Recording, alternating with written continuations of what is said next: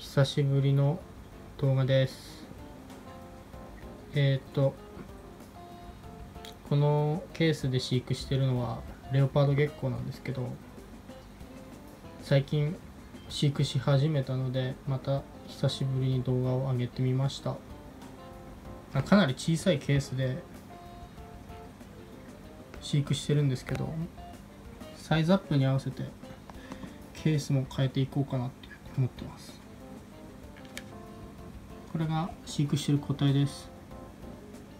ハイイエローっていうまあ原種に近い品種ですね。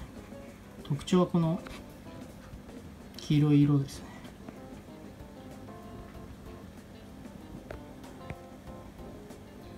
ちょっと今シェルターどけたんで警戒してますけど結構おとなしい性格の個体だと思います。これからこの個体に餌やりをしていきます。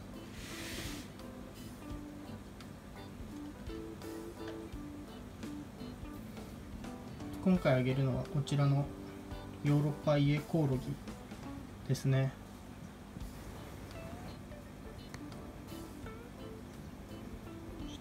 動画撮りながらだと難しい。これでこんな感じで。食べます人工飼料食べる個体もいるみたいなんですけどうちではまだ食べてもらってないですね。一応あげてみてるんですけど食べてくれないです。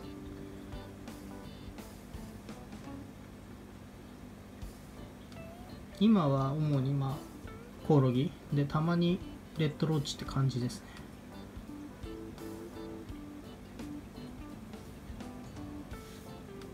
もう一匹食べるかな。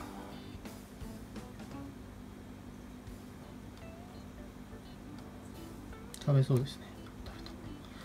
食べた。食べた。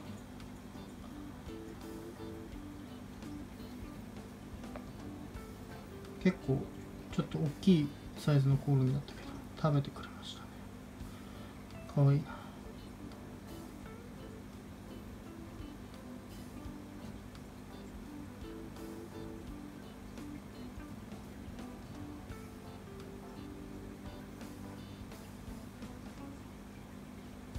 最初の頃は普通にピンセットからなかなか食べなくてでちょっとコオロギ潰して内臓出してあげてで舐めてもらうと餌だって認識して食べてくれてたんですけど最近は普通に顔の前持っていくだけで食べてくれます。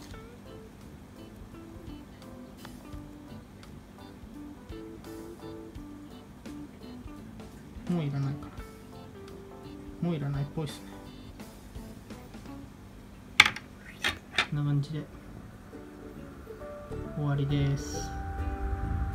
thank you